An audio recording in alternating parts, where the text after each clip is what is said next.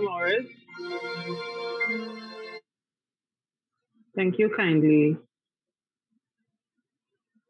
Good afternoon, everyone, and welcome, welcome, welcome, welcome. We know that you would have enjoyed that very um, inspirational music that you would have heard just now. But at this time, I wish you welcome and good evening to a wonderful and insightful evening of fellowship as we speak of a topic that is sure to excite you all this afternoon.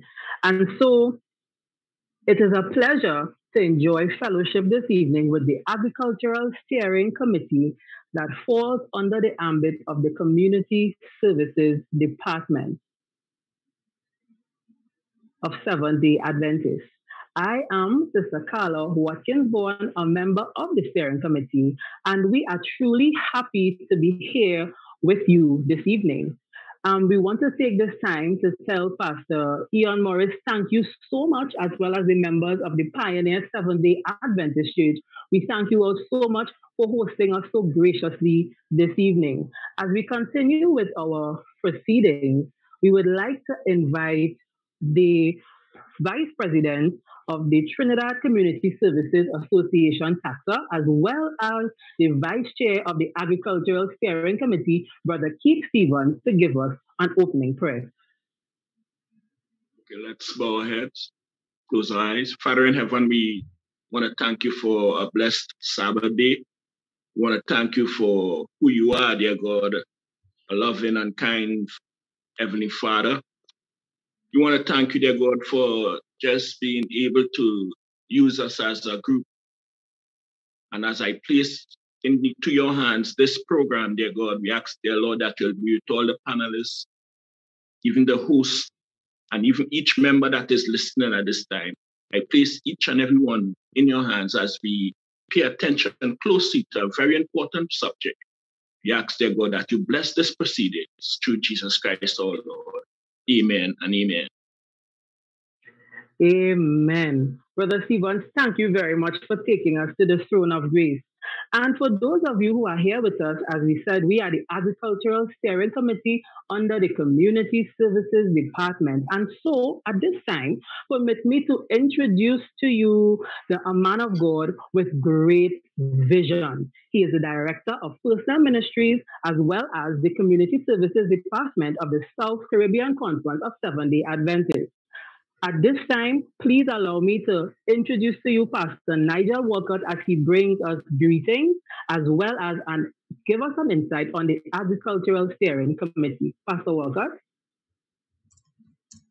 Yes, uh, good afternoon, all. I extend to all of you a happy Sabbath. And uh, of course, I'd like to uh, thank my colleague in ministry, Pastor Ian Morris for you know the invite to be on the Couva platform.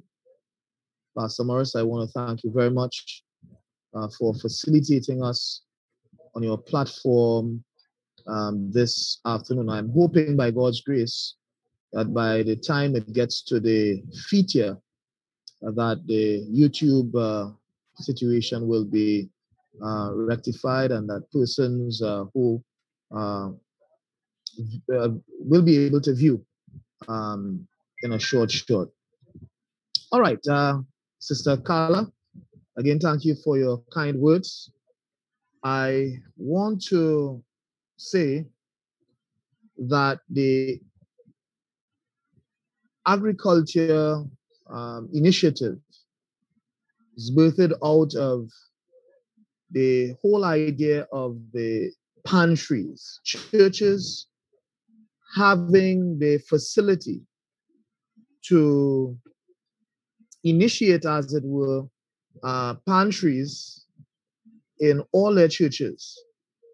I also um, feel, or I'm of the opinion, that the Seventh day Adventist Church should be doing more for communities, you know. Um, we have been doing over the years a great deal, but I feel that we could really do more as a church. And as such, I, the committee and, and, and myself um, would have started probably about a year ago to talk to the whole idea of uh, pantry, as was stated um, at the Community Services Convention. Pantries are not is, is, is not a new idea. Of course, it is something new that to Trinidad that we want to encourage, but it is not uh, um, solely a an idea, uh, a new idea. And of course, those talks would have led uh, to us um, have, after having uh, spoken to the pastor of the Berean church and the manager of the pantry at the Berean Seventh day Adventist church, we thought, look, this is a great idea to have happen in our own country. Let me just say that it is important that Seventh day Adventists get involved in preparing food, their own food. Um, that plus, as growing up as a little boy in country Bish, I observed that my grandfather had a lot of cattle. He was, of course, um, involved in agriculture, planting rice in the lagoon. And uh, people counted on Brother George, as he was affectionately, uh, affectionately known, to you know, always have something. If they needed, they would come to my grandfather's house, even though he was you know, a poor guy. The community knew Brother George. And so Seven Day Adventists yesteryear were known for helping people. And uh, of course, so, so that the whole idea of, of agriculture, helping members to, to, to get involved in agriculture.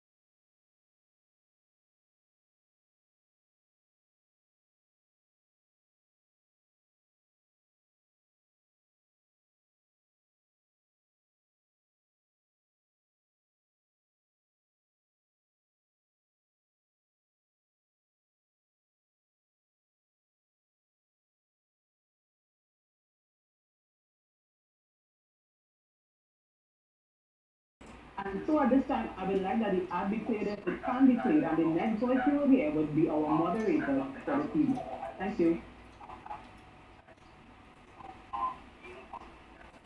Jeez.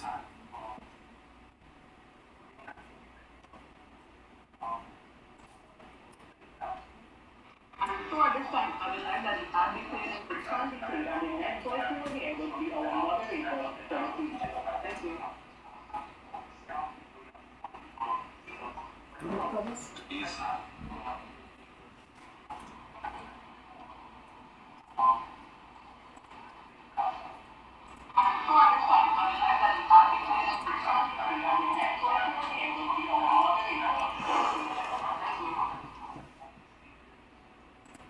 Okay. It seems as though we have a bit of delay with our ad, but let me tell you, the initiative still remains. It's time to get growing. And so, at this time, I would like to turn you over to our moderator, Sister Candy I need my remote.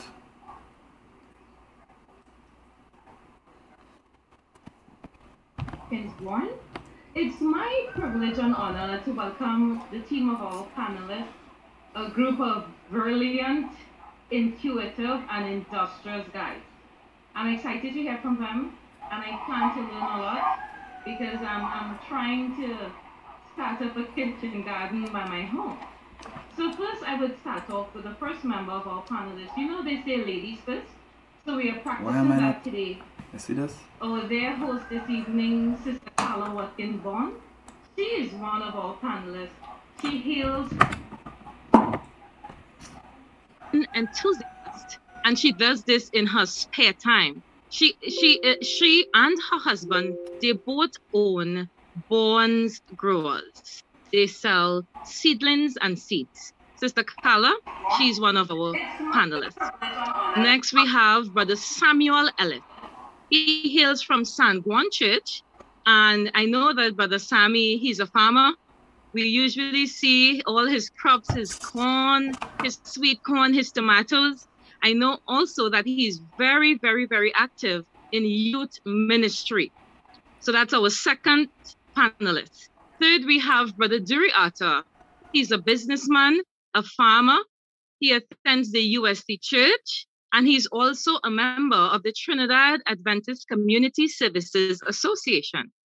And last and definitely not least, our our last pan, our last person of our panel, he will also be the presenter for this evening, the featured presenter, and his name is Brother Leon Granger. The church he attends, his membership is at the Coromandel SDA Church, and he is the former CEO of the Cocoa Company of Trinidad and Tobago. I would say that Brother Leon is also an agriculture edu- educator. Now, brothers and sisters, I just want to ensure you that you will be blessed this evening because I'm on this team with these guys and I have no idea why I'm on this team, but God has placed me there because they all have experience in farming, but I guess God placed me there so that I would learn. So before we go into our panel, the next feature would be our presentation by none other than Brother Leon Granger. Please sit, listen, and be blessed. Thank you, Sister Candy Brathwaite. Let me take a second off to say happy birthday to you again. And um, I've been trying to figure out what kind of fruit basket we could organize to send her. I immediately remembered um, that old adage uh, if you give a man a fish, you feed him for a day. If you teach a man to fish, you feed him for life. So instead of giving her one of these beautiful um, pitahaya fruits on my bookshelf, I think I'll organize a pitahaya plant for her so she can start having her very own. Happy birthday again to you, sister.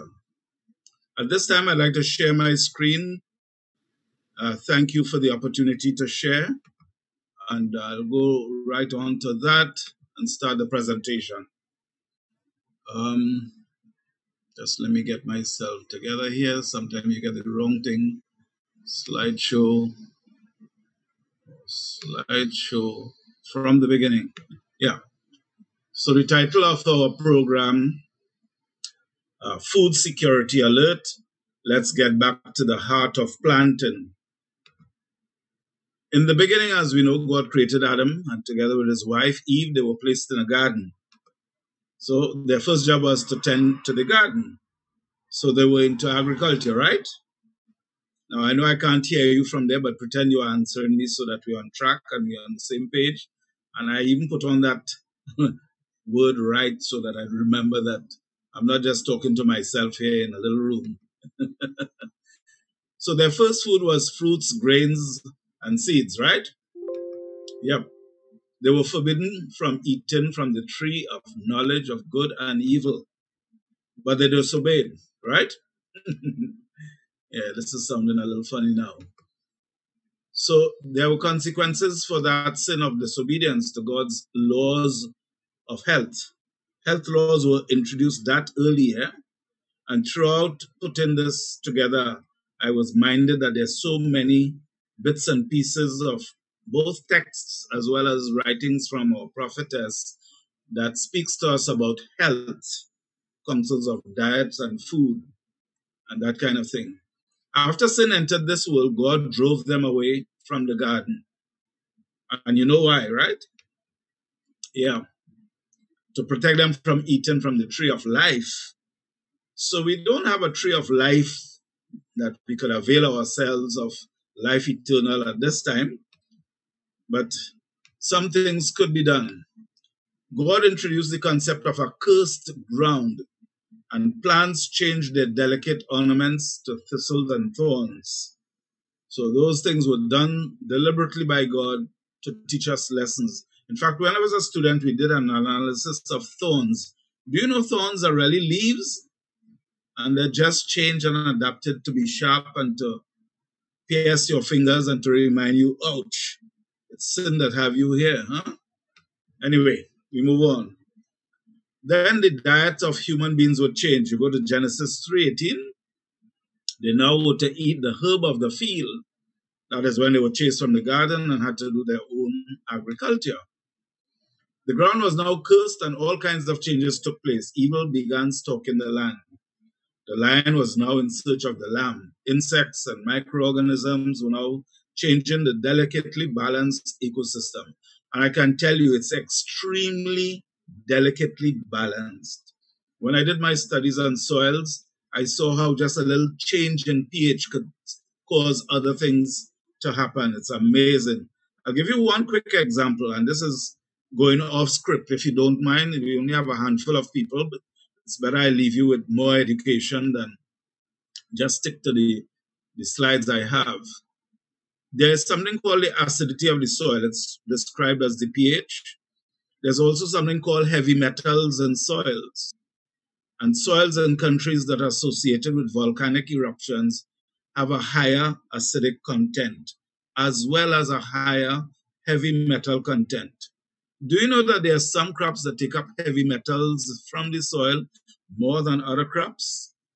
One such heavy metal is called cadmium. You're acquainted with cadmium, it's found in our cell phone batteries. When you eat crops that carry heavy metals, it goes to your brain. And by the time you cross 50, sometimes earlier, Alzheimer's and forgetfulness and dementia and those things step in. So we have to be careful about what kind of crops we eat. Unfortunately, there are some crops that search the soil. The word that is used in the literature is scavenge. Their roots scavenge the soil for cadmium and deliberately take it up. And the brassica family is known for that. That is cabbage, cauliflower, broccoli, uh, spinach. Is the next one. Uh, choi, laden with cadmium. That doesn't mean to say we'll stop eating those crops. You just have to plant them safe. Maybe plant them at home so you know exactly what soils you're putting them into. And the point I wish to point out right now is we may not be using chemicals, but some people use fertilizers, and fertilizers are laden with cadmium. I had the privilege to check because cocoa scavenges for cadmium as well. And this, the fertilizers we were using in Trinidad for cocoa was 136 times above the limit of the accepted level of cadmium. That's not to scare you, that's just to wake you up. Okay, so man was now in direct competition for everything that existed in the world. Climate change commenced since the flood. Don't fool yourself. Climate change started a long time ago, and all of those things affected us. Man's diet changed from raw foods. Deforestation started because firewood was needed to cook. Are you beginning to see a whole linkage of network of consequences that came as a result of man's sin? Mankind had to learn new skill sets. Uh, remember Proverbs 6 6 Go to the ant, consider its ways and be wise. And every day we are learning new skill sets. Although I've learned so much about agriculture, I listen attentively to Brother Ellis whenever he speaks. That man is filled with gems. I was talking to another new guy from Love Until Mr. Christmas. That guy knows some stuff. Ah, Brother Dury, important guy in the system when it comes to agriculture. I've learned to listen and learn new things. Man had to learn which insects attack food crops and which insects were useful for pollination and honey making. Do you know when we spray our fields, we kill insects that are useful? So we kill both the good and the bad. The Bible has something to say about that, uh, about the wheat. When the wheat is growing and you have weeds, it's called the tares, and, and they're so close and he said, he instructed us, let the wheat and the tares grow together until the harvest. Well, when we try to kill the insects, we have to be careful. And honey is such an important agricultural product. It's good for healing. And uh, Brother Ivan Morris is our pioneer in the church as far as honey farming is concerned. He has a lovely apiary. I admire that gentleman. He has ideas. And we must think in, about agriculture in terms of the value chain. So when you think honey, there are other more valuable products than honey. Things like royal jelly, by the way, that are sold at a one dollar per gram. I'm not going to go into finances today's Sabbath. So just remind me every now and then. I might get a little carried away. Some insects were useful for attacking other insects. Some insects were even attacking man, right? And we have mosquitoes, you know, sandflies, wasps, ants. I specifically said bachacos because we have um, some Spanish people in our midst these days. I invited one to the program today who attends the Cunupia Church, and abejas. Check all that in your spare time, and lots of other creatures that we are afraid of. You see, uh, man has to still eat three meals a day. Well, I think it's three. Sometimes it's five. So there's the need to study agriculture and farming, especially as seven day Adventists, because we know we don't eat everything, right? I hope so. Agriculture took on a new meaning, and up to today, knowledge is still increasing. Civilization began with agriculture, and though humanity has changed significantly, agriculture still remains very important. In certain countries, its significance is more obvious, but the reality is that every country in the world depends on agriculture for one thing or another. Here are 10 reasons why agriculture is important. And I will quickly brush through these because we have so many things to talk about. Number one, it's the main source of raw materials. So whether it's cotton to make clothes, chocolate, flour, wine, we have communion wine, wood, olive oil, all comes from agri- agriculture. And raw materials are so important in production that the economic health of a country strongly depends on how many raw materials it possesses or produces. There was a time when Trinidad was a big producer of agricultural products. My father was born in 1920. He said his father used to work in a cocoa estate as an overseer. And when I checked the literature, it says in 1920, Trinidad was the third highest producer of cocoa in the entire world. Today we produce about 0.001%. So it has declined. Of course, you know why. The rich and famous product called oil. Number two, its importance to international trade. By the way, I used to often tell the bureaucrats if you don't divest and if you don't reinvest into agriculture, one day you might have to sit and, and drink the oil because we will have no food. So international trade is the second important importance of agriculture. Raw materials from agriculture make up a huge portion of what's traded internationally. Trade makes up a big portion of national revenue. Well, not for us. We, we, we hardly have a little blip in the pie for agriculture. But if you look at India, more than half of their revenue is from agriculture. Okay, move on. Number four, agriculture provides employment. I know Trinidadians will leave here and go to Canada for a job. There are 50,000 jobs available. There's a shortage of manpower for agriculture in Canada. So they request 50,000 people to come everywhere to help them. Unfortunately, the ladies in our country look down on men who do agriculture, right? Well, some ladies. if you're in agriculture, I, I met a young man in Tobago who said when he's coming out of the bush, he has a bag of clothes to dress up in because he don't want the young ladies to see him dressed like a farmer. But it is a fact agriculture provides employment. The agricultural industry is still one of the biggest sources of employment, and in many areas, it's actually booming. Whether it's working, and I know someone might be able to pick us up on this. Every time I speak about it, people question it. ICT technicians, technicians for farm equipment, vets, extension officers and scientists. There are many jobs available in the field of agriculture. I was mentioning recently, and I was in discussion with Mr. Rudder, who went on FAO mission and came back and said, Leon, the latest technology for inspecting farms, it's the drones.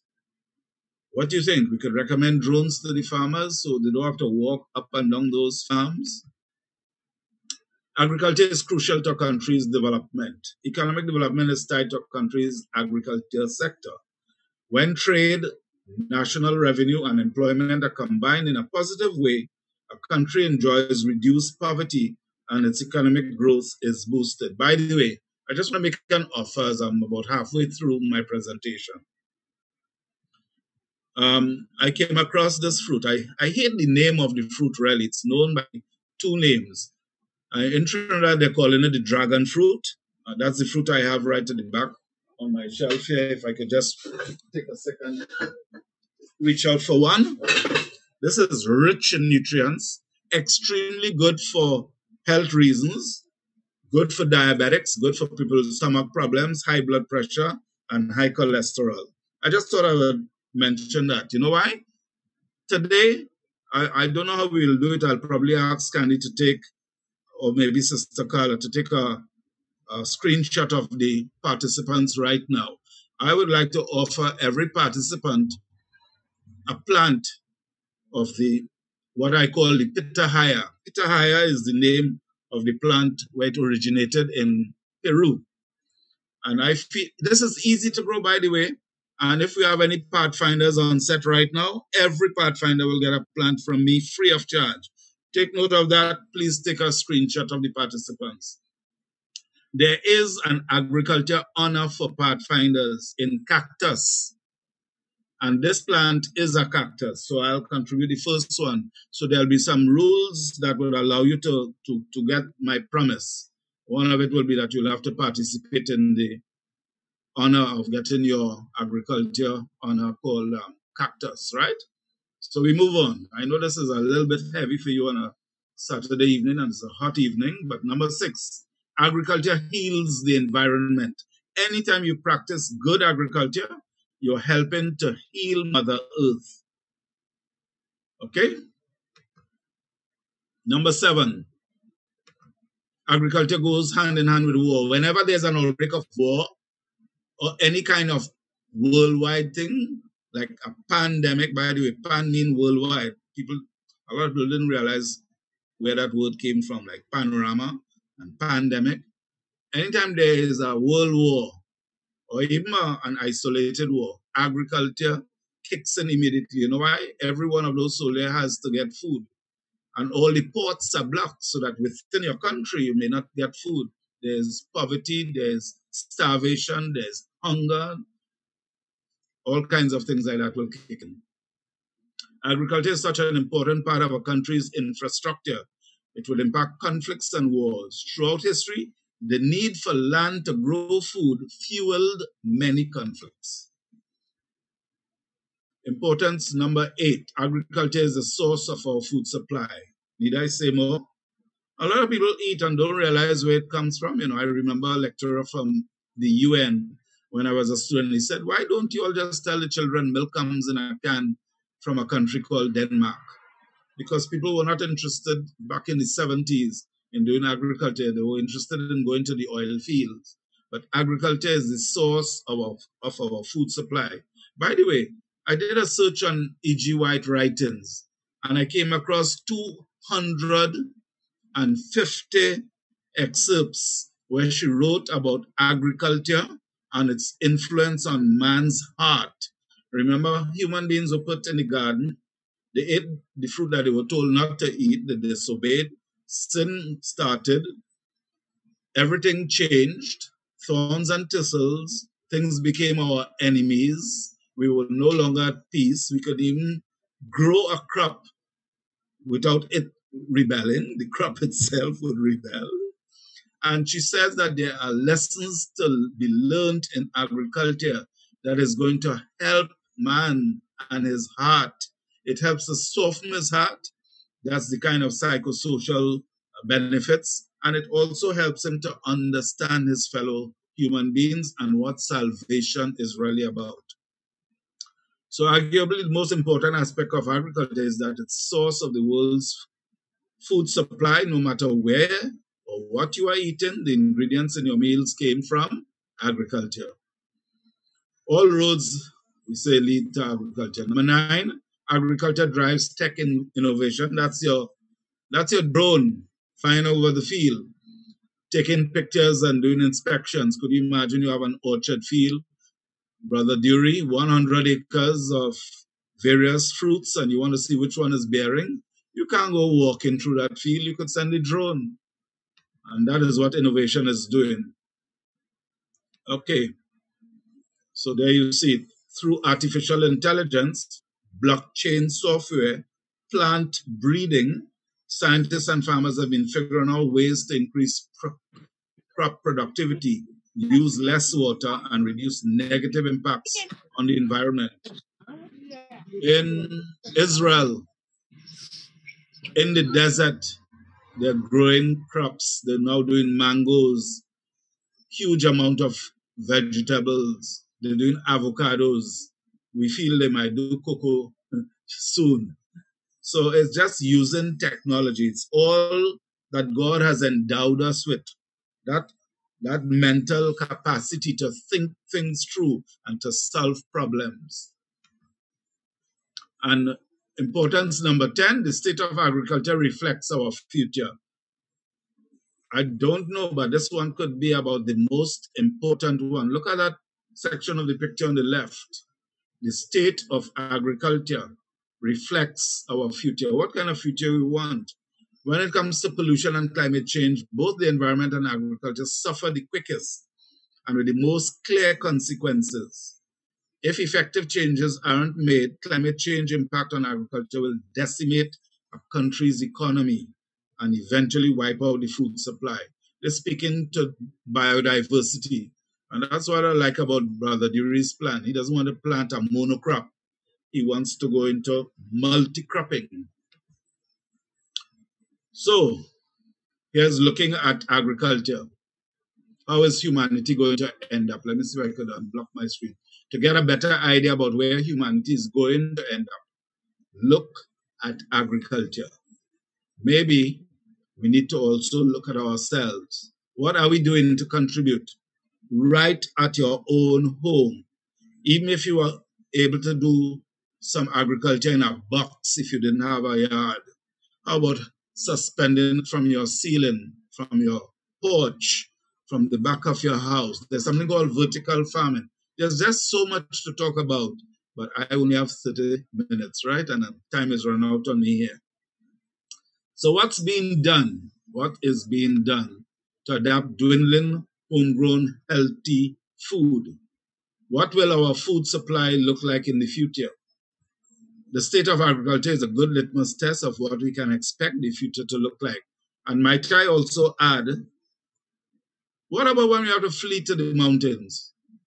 I know supermarkets up there and greengrocer to go to and get two cucumbers, two tomatoes, a bunch of lettuce, and a, a bundle of bodi. You know, you have to figure what to harvest from the forest and eat. You might have to even eat it raw because you wouldn't want to give away your location by lighting a fire, right? Things you learn in pathfinding, things you learn as master guides. What's needed? I'll tell you what we need a strategic plan for community development. This is about building communities. This is about empowering communities. This is about becoming sustainable in communities. This is probably about exchanging what you can do best in your community if you grow rice best, maybe you exchange your rice with someone who is doing corn or with someone who is doing pitahaya. Oh, by the way, do you know that corn and, and maybe rice, rice beats back corn, has the highest usage of pesticides for growing a crop? It's amazing some of these crops we don't know about, but we eat every day and we get sick and we don't know why. So here are a few suggestions. If you have a backyard, plant directly. Plant a few veggies. Plant tomato, lettuce, cucumber, bodi, squash, spinach, dasheen. Oh, I bought a dasheen and forgot it in a bag and realized it's growing. So tomorrow, for Father's Day, I plan to cut off the top and plant it in a bucket I have there. Yep, you could plant dasheen in a bucket. You could plant yam in a bucket. Eddoes, lettuce, um, cabbage, chadon beni, pimento, okra. You have no backyard? Recycle a container. Use grow boxes, five gallon plant bags, just those plastic bags, a garbage bag, just fill it up with soil and plant. Put a stick to help you hold up the plant. Okay? Juice packs, old fridges, oil drums. Can you recognize this plant, Brother Ellis? If you recognize this plant, Brother Ellis, I'll give you a, a higher too. Sometimes seedlings are difficult to recognize, but I just throw it in there for, in case uh, we have pathfinders looking, they could try to figure what is that. You could figure out this one. It's a potted cabbage in one pot, a nice cabbage, healthy. You could even cover it with a net if moths come in to lay in it. You don't have to spray it. Cauliflower, yeah, cauliflower is a flower, by the way. I don't know if you realize that we eat flowers. Cauliflower. Do you know any other flower that is eaten, by the way, just to wake you up on this Sabbath evening? Any other flower? I don't know if I'll see my screen if anyone is texting, but think of it. There are other flowers we eat. What about flowers we use in making drinks? These used to be my favorite questions when I teach Pathfinders.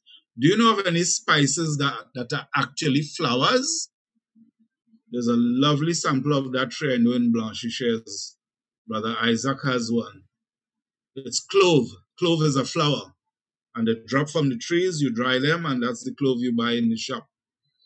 I was asking people if anybody know where I could find a mauby tree. Yeah, Mauby comes from trees. It's a bark. But just to get our pathfinders thinking, sometimes I remember teaching pathfinders and asking, Do you know what is the sweetest grass in the world? I wish I could see hands going up. The sweetest grass in the world, of course, is sugarcane. And then I'd ask them about the tallest grass in the world. The tallest grass in the world is bamboo. And then there are grasses we eat in the morning for cereals.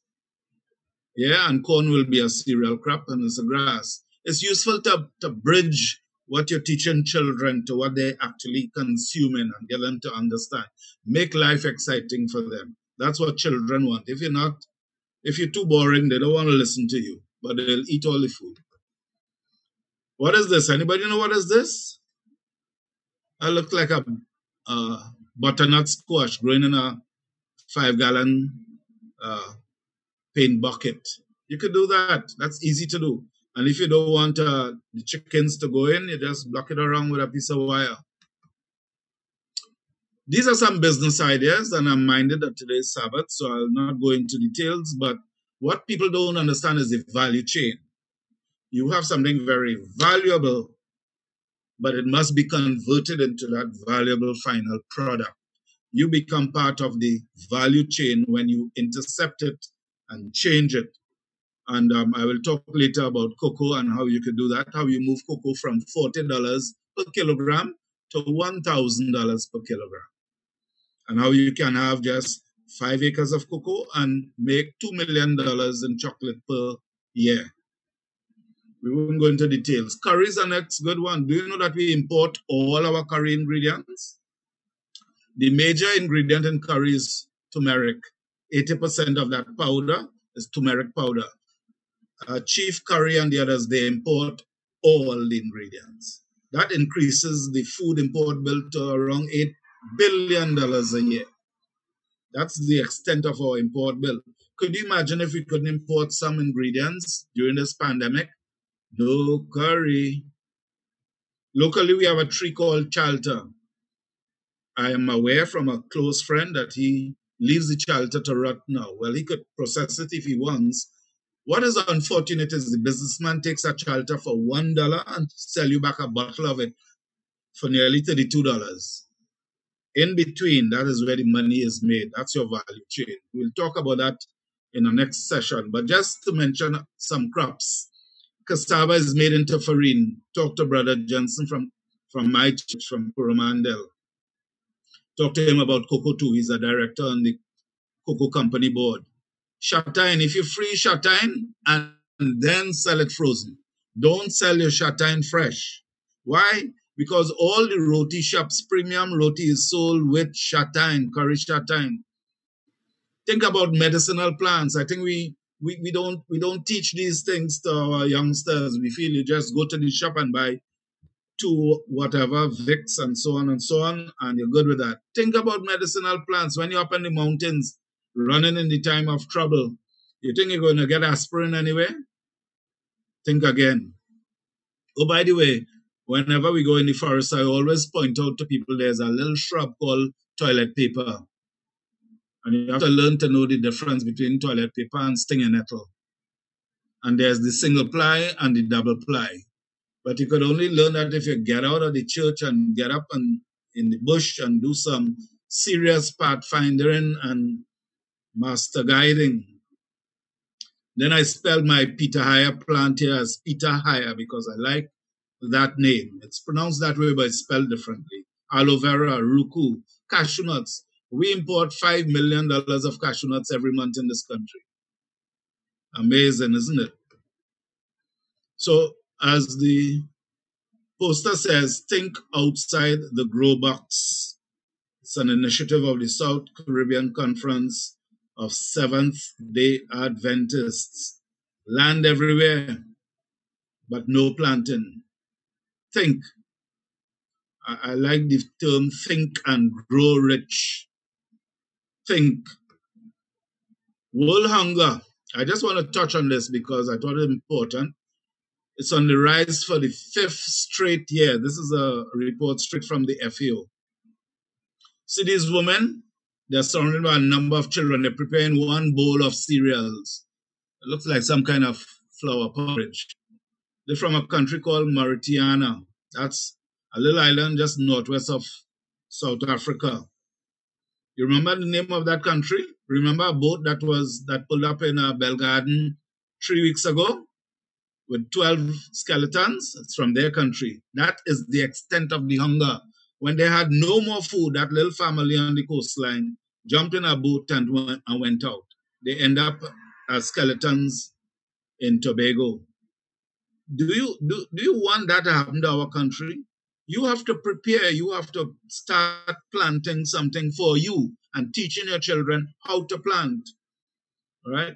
Only an initiative that multiply a few loaves of bread would help us now. Right? God says, be prepared. The number of hungry people in the world increased by 10 million in 2019, and COVID 19 is making it worse. After decades of decline, hunger has increased every year since 2014. You know, there's a sustainable development goal that says they will achieve no hunger by 2030. Well, it's going backwards, it's getting worse. Hunger pandemic threatens food security. That's what we have. Hunger combined with the coronavirus and the pandemic. We're completely off track when we add to that situation what's happening, they say, in COVID. We need to change that. Three billion people cannot afford to buy food. So there, you have those who are hungry, those who don't have food, and those who can't even afford to buy food. 2019, nearly 690 million people went hungry. I'm moving on. The pandemic is almost over, right? Wrong. The report estimates that 83 million people and possibly up to 132 million people could be pushed into hunger because of COVID 19. Brethren, I did a little bit of research on these things. First time I saw them was last week. It scares me. Many, because of job losses amid the lockdown measures, people don't have food. What are we going to do about it? Some of those persons may live right here in this country, right here in this community, right here in Coromandel and Cunupia and Arouca and Paradise Gardens, right here. Increasing healthy diet consumption is not only important for reducing chronic health conditions and non-communicable diseases, but also for reducing the negative environmental impact of the global food system. What I'm saying in short there, it's in fancy language for any audience. But what I'm saying is, as you increase the kind, the healthy diet that you should be on, you will be increasing your health. Talk to people like Sister Candy overhauling the global system so that it can produce healthy food to meet the world's demand will require an examination of food production, crop diversification, storage capacity, and the entire supply chain involved with getting food from field to fork. Consumers will have to change their eating habits. And if the world don't want to do it, you have to do it. You have to lead by example. You have to show your children not every time they ask for A, B, and C, and I wouldn't say what A, B, and C is, would you rush and give them? Because you're teaching them habits for life. And just now it will get so atrocious, you will know what to do. And God alone knows what our children are eating.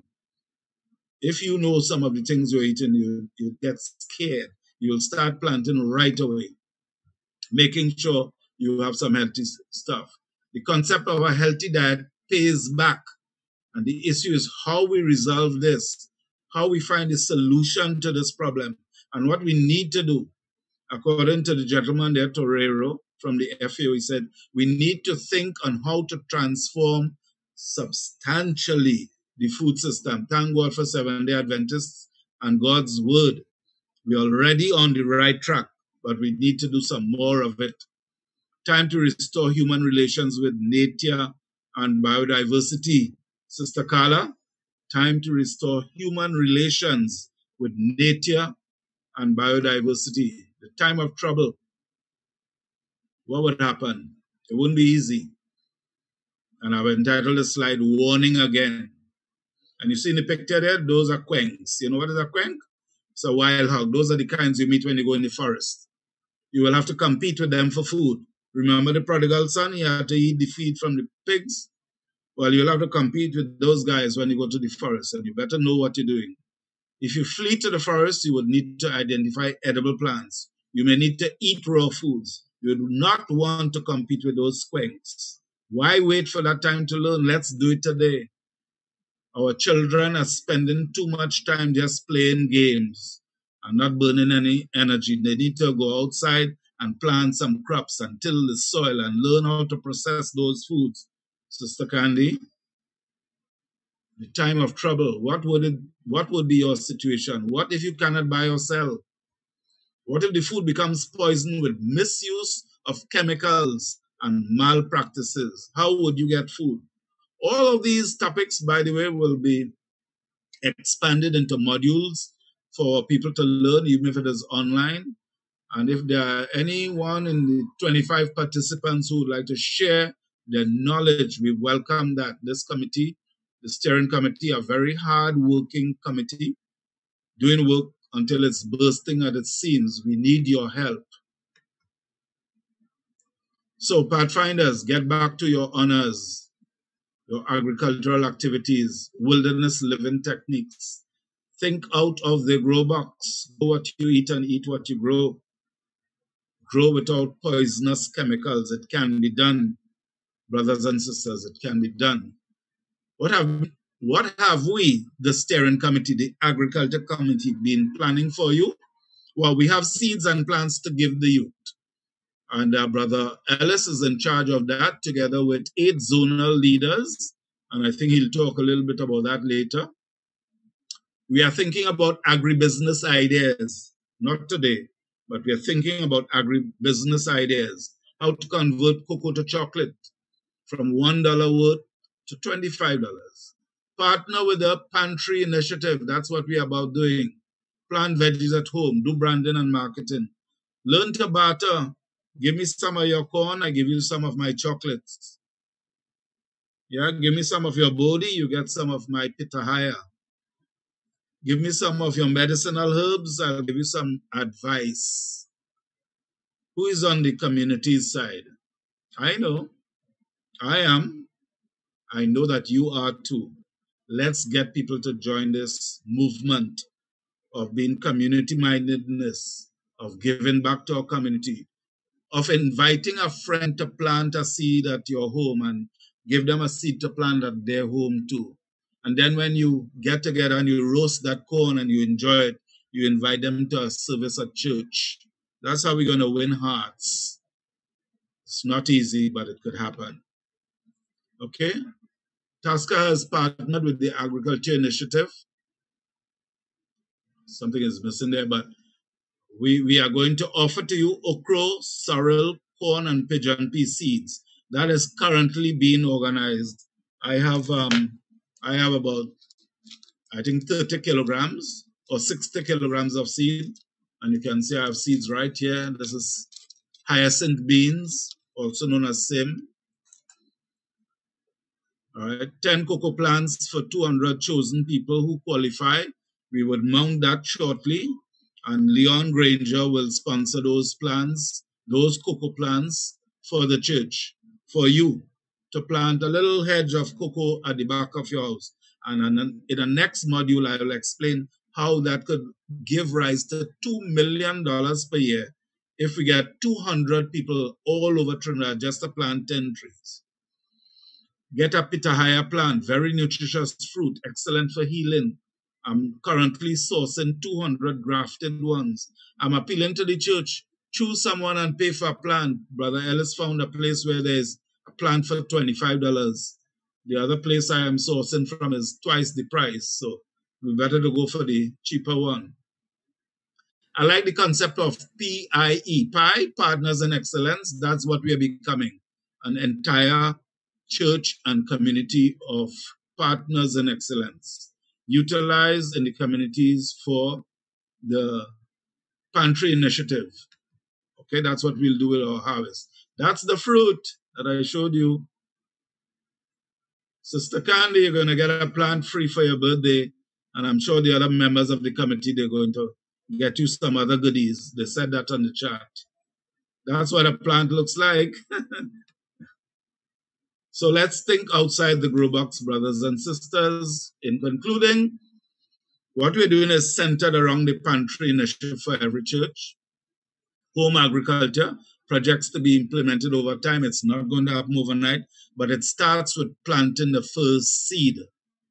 A program of change. Each householder is a key stakeholder. Okay? Think outside the grow box. Stay tuned for more developments. Plan something today. Involve your neighbors. A lot of times we do things and we do not involve our neighbors. And then we want to invite them to church. Eh? working along with the conference, access to learning and advisory resources. We are doing this project, brothers and sisters, without a budget. We are doing this from the goodness of our heart, our passion, and our love for people and agriculture. And we know that this is going to take us somewhere. Uh, this is the end of my presentation. I will stop here and say thanks and invite questions. I will stop my sharing so that um, the screen is available. And I turn you back over to our lovely host, Sister Candy Brathwaite. Thank you very much. Thank you. Thank you, Brother Leon Granger, for such an insightful presentation. And you know what? What you said is correct. We need to plant. And when we plant and we have our own kitchen gardens in our homes, it even helps our own Christianity in our neighborhoods. We are uh, we it's easier for us to share the gospel because we can easily go to our neighbors and offer them some fruit or vegetable that we would have planted and reaped, and they would have seen the goodness of God. Uh, do we have any questions for Brother Leon? If not, we move straight into our panel this evening. Do we have questions? We can entertain two or three questions based on the presentation. However, if not, at this time, we can take the questions at the end of the panel. Do we have any questions? Okay. All right. So for our panelists, I will repeat the names again of our panelists. Sister Carla Watkins Vaughn, Brother Samuel Ellis, Brother Dury Otter, and Brother Leon Granger. All right. Good evening and welcome to the panel. The first question is this presentation spoke to agriculture and its healing components to the land. What are the mental health and physio-social benefits of agriculture to the farmer and gardener? This question is posed to Sister Carla Watkins Boron. Thank you very much, Sister Candy. I am just so elated to hear all that was shared by Brother Granger. I'm sitting here and just, you know, taking all the notes. It's always very insightful to hear him indeed. Um, but just as he said, while the earth has its healing properties, the, the reality of it is that we might think that we are nurturing our gardens, but it's really our gardens that are nurturing us. And Sister White would have spoken to this entire concept years before, and now the world is catching up with the Seventh day Adventist Church as it relates to health and healing and its healing properties. Mental health is greatly affected by the fact that we need to get back to the heart of planting. We need to get back to the heart of gardening. The reality is that as we live in this present pandemic time, we are seeing that many persons are stressed out we are in we are unable to do a lot as we would have liked to do. Our children are at home, and just as Brother Granger said, there's more screen time. They are very solitary and they are just there, and everybody's frustrated. Well, let me encourage you all to get your hands dirty because it's time to get growing. When you when you get out into your gardens, and you continue to you get involved in planting you get involved in doing just I mean, a little lettuce plant, as Brother Green just said, a corn plant, whatever it may be, it doesn't have to be anything too difficult. But the reality is, it has its benefits. Now, soil provides its own natural antidepressant. The research shows that there's a mycobacterium that is in the soil that acts just as Prozac would act in terms of providing persons who are depressed with a feeling of normalcy. So why take Prozac when you can get out into your garden, right? Especially exactly. when you may be sitting at home and thinking, Sister Candy, oh gosh, I'm so bored, there's nothing to do. We can't go around the savannah and exercise or go into open spaces. After a long day of screen time on Zoom for various meetings and schools, I'm encouraging you all for the sake of your health and for the sake of your happiness, get out into your garden get something planted, water your plant. It, you, you feel you feel that sense of happiness. It reduces stress and improves your mood. It causes a reduction in symptoms of anxiety and depression. And now we have a lot of our children becoming depressed. A lot of them are becoming depressed. How about taking the opportunity to get out there and just get planting. Plant, let them plant a patch. The thing about this is this, as it relates to not just the mental health side of it, but the psychosocial parts of it. It allows us to connect. And Brother Granger just spoke to the biodiversity, spoke about the interrelational experiences that we can have. I, um, I can guarantee you, Sister Candy, that when you get out there and you start planting, it can also improve your familial relationships, parents and children, husbands and wives, because you are out there and you are happy, that serotonin is increased in your body, the happy hormones, as they call it. And so you are able to truly enjoy something meaningful. And while you are enjoying your mental health and wellness being improved, you are also growing something that would allow for your your pantry or your pot to have a little meal in there. So it's very beneficial, and we need to appreciate also that the color green is useful. The color green is in everything. And when it look when you look at the greenery in our garden. It helps stimulate a therapeutic environment for our minds. That's what somebody in the chat said, heavenly sunshine. Yes. When we get outside and we get those vitamin D's, it allows us for it allows for holistic development, holistic happiness, and we can continue to enjoy meaningful growing experiences. Wow, Sister Carla.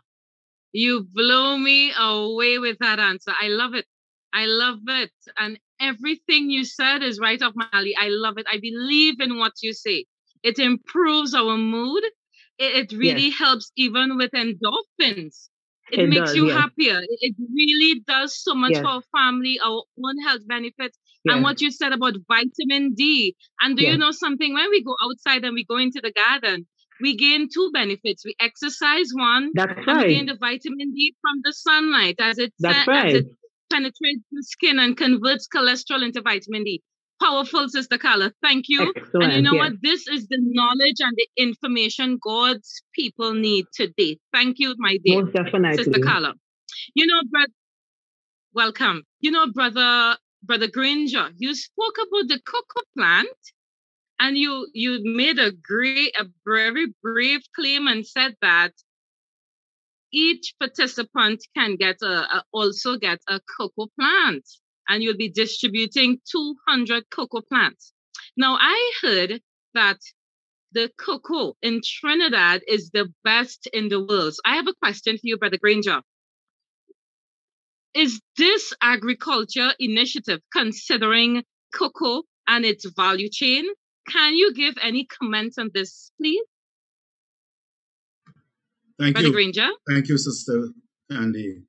Let me say a few things uh, that relates to the question. Most people are unaware that we have a Seventh-day Adventist member here in Trinidad who is the winner of the best cocoa in the entire world. Brother Leroy Peters of the Grand Riviere Church, and his wife, who is from Mamoral. We have other participants who are Adventists as well, Brother Jensen Alexander from the Coromandel Church. And let me also say that our cocoa is the one crop for which we have total comparative advantage. It's a term used in economics. When you're considering what business to do, or what crop to plant, you consider your own comparative advantage. And for Trinidad, we have a comparative advantage with cocoa. Means compare us with any other cocoa growing countries. We have the best conditions, the best climate, the best soil, the best technology, and the best varieties. And we produce the best flavors. So that's true. So should this be part of our initiative without going into too much commercial uh, verbalization at this stage. Let me say that one of the plans that I have to still get approved from conference office, because remember, if we do a church initiative, it must be approved by conference. But so far, the steering committee seems to be listening, and, and I know there some of them still wondering, is it is it for real? If you had 200 people with just 10 cocoa plants, that's 2,000 under normal farming conditions, it's a high density cocoa planting for two hectares. We have gone metric, so we say hectares. But for those who still know the imperial system, that's five acres five acres of cocoa will give you $2 million worth of chocolates per year. And already I was telling Brother Dury, we have three Adventist chocolate makers in Trinidad. Brother Jensen Alexander, Brother Peter, Leroy Peters from, uh, from Grand Riviere, and Brother Howard, Stephen Howard from Arouca Church. And I think there's another one somewhere in Moruga or Rio Claro. If we develop a cooperative using the zones with these processors, you have a complete business module. Is that something I'd want to do? Certainly.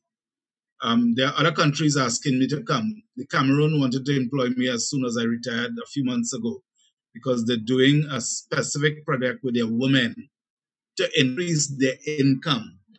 And it is exploring the value chain that allows you to do that. I would like to do that as Seven day Adventist Church members leading the way here in Trinidad. Yes, Sister Candy. And I would also personally sponsor the plans. Let it be written. Uh, thank you very much, Brother Granger. And you know, I, I know the cocoa plant, and one of my sisters, older sisters, they have two cocoa plants by their home. But I just, you know, know cocoa as you you're driving, you go to camp, I go by my sister, you pick it and you suck it. Not really recognizing the true value and nutritious content of this fruit. All right. So I'm very impressed and to hear that our fruit has the highest value in the world. I, I feel honored to be a Trinidadian. All right. So, you know, um, you know, I've been hearing about because of this pandemic, I've been hearing all over the internet. A lot of persons are touting this this this thought about food shortage. You know, we we are expecting this to come very shortly. And Brother Duriat, I have a question for you. How should we respond as a church to the escalating food security challenges in our communities and in our churches? Brother Duriata? Hi, good evening, everyone. Are you hearing me clearly? Yes? Yes, we are. Thank right. you. I think I think we have to look at this problem from its core. Um, the challenge with food security or food insecurity is not necessarily a shortage of a shortage of food, but it's a challenge with the distribution of food and the logistic or wastage of food. For another fact, there's 20, uh, 72, 72 billion pounds of food wasted every year in the US. If you look at your wow. visit to the uh, to the restaurants, you see how much food is thrown away. Look at your own waste basket at the end of the day and see how much ends of bread is thrown away. The challenge really is an issue of wastage and and or distribution. How can the church respond to this? I believe that we have started a wonderful initiative through the Community Services Department, through your leadership and through the astute leadership of our director, Pastor Walcott, and um, this pantry initiative, uh, in concert with uh, Brother Brian Brian Jones, uh, I, I think this initiative is one of the ways, one of the first responses we can utilize to to, to start curbing that challenge in Trinidad. We can Uberize, uh, if I should put it that way, our food network. Uh, pantry is one first mover option where uh, food can be um, organized through the pantry and then redistributed properly, uh, eliminating waste. And not just that alone, improving the network of food distribution. There are surplus foods around everyone's house. Sometimes we plant pack we wouldn't plant one pack we might plant 10 pack but really and truly in the life cycle of the plant, the, uh, when it is harvest, you wouldn't eat all of it in one week. So that could be Uberized. We can move that uh, capacity throughout the church network through an app or through a, a, a, a website that would allow people to know exactly what is available in the marketplace, where it is, and then we use the movement of our people throughout the island to redistribute the food. So someone is coming from Southern meeting in, in, in Port of Spain, they can pick up the food from someone in Marabella and bring it up the road and distribute it. And we, at a minimal fee, we have a, a proper redistribution of, of our foods in, in using our mobilization cap- capabilities and our partnership with our membership throughout the church network. Oh, thank you, thank you, thank you, Brother Atta. Uh, what you said, I, I, you know, I really didn't think about it in that way. That it's really about wastage, and we really have a lot to waste. And recently, I was driving with my kids, and you know, I saw a, a Governor Plumtree's Lathan, and it's close to the highway, close to where I live. And I, I'm thinking, I hope we don't have anyone hungry in our community because there are so many fruits. Mango is in season. You know, there, there's so many fruits that's available and it's falling to the ground and it's wasting. And what are we doing with it? So is, is the question, uh, is it really a food shortage or are we not utilizing what we have correctly? All right. So uh, thank you very much, Brother Atta. Now, Brother Samuel Ellis, I'm coming to you now. With this new agriculture initiative, can this new agriculture initiative provide opportunities for the involvement in agriculture business other than planting? We want to know if all we can do is plant, Brother Ellis, or if there are other opportunities besides planting.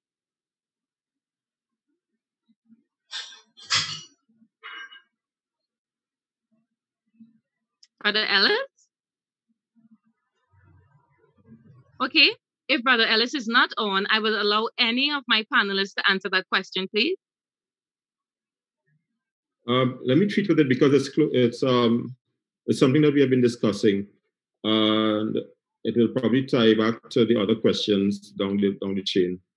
Um, there, there are always peripheral industries that tie to agriculture without having to dirty your fingernails at all. Um, for instance, the issue of agrotourism. Uh, just say, um, look at this one. Agrotourism is a very is a big and growing industry around the world. A lot of people who are health conscious want to see where their food is grown. Right? Not just that. A trip to a farm is a very exciting and, and uh, stress relieving uh, activity. The greenery in the farm, how it's done, the methodologies, etc. Agrotourism is a business that anyone who does not know how to plant or have lands can engage in, where they arrange tours to farms around the country. And uh, if they can pick people up and take them to these farms, um, have the producers share with them how the methods for farming, etc. And I think those are some of the opportunities. So there are, mul- there are multiple others that I can also um, share later on that we can utilize as a commercial option outside of actually putting your hands in the soil. Uh, thank you very much, Brother Atta. You know, uh, I'm happy to hear that we don't necessarily have to put our hands in soil, but you know, we know that it's very healthy, it's very therapeutic, as Sister Carla said, and this is where we need to be. But for those ladies, I guess, that don't want to get their nails dirty, there's hope for us. We can still get involved. Is Brother Ellis back in as yet? He seems to be having some difficulty, Sister Candy. Okay, thank you, Sister Carla. We'll move right along. And uh, Sister Carla, the next question is for you. Is this new agriculture initiative designed to engage also the youth and children in our churches? Sister Carla, I realize you you're very much involved with children, and this is commendable. So, do you believe that this initiative is designed to attract the children and youth of our church?